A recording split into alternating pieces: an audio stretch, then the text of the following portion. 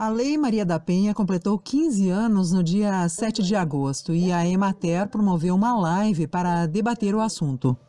E afinal, o que essa lei trouxe de avanços para a realidade brasileira? Podemos, uh, podemos dizer uh, que, o, que, que a prevenção, que o combate à violência contra a mulher uh, ganharam um novo fôlego a partir da Lei Maria da Penha?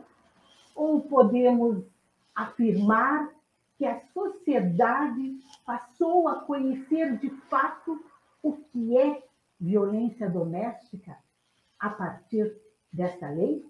O debate reuniu a assistente social e representante do Fórum Permanente da Mulher, Ângela Marchionati, a advogada e coordenadora da Coordenadoria da Mulher de Juí, Carla Mussi, e a delegada de polícia, Viviane Viegas.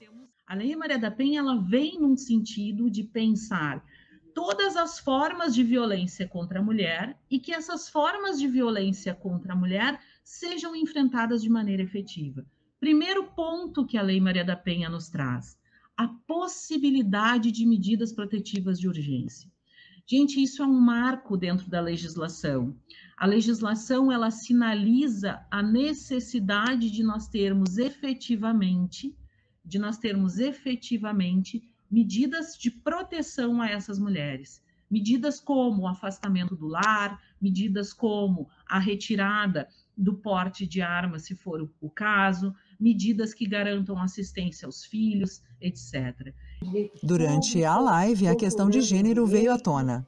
Em relação à questão de gênero, não há problema nenhum se o agressor for do mesmo gênero que a, a mulher, ou se for um transgênero, não há problema nenhum. Né? A única questão é que a mulher a, a, defesa da Lei Maria da Penha se refere à mulher. Se ela se identificar numa identidade uh, social, ainda que sem cirurgia, como vítima mulher, ou seja, se a identidade social dela e ela se reconhece pelo gênero feminino, ela é protegida sim pela Lei Maria da Penha. Se a agressora dela for uma mulher, também não há problema nenhum.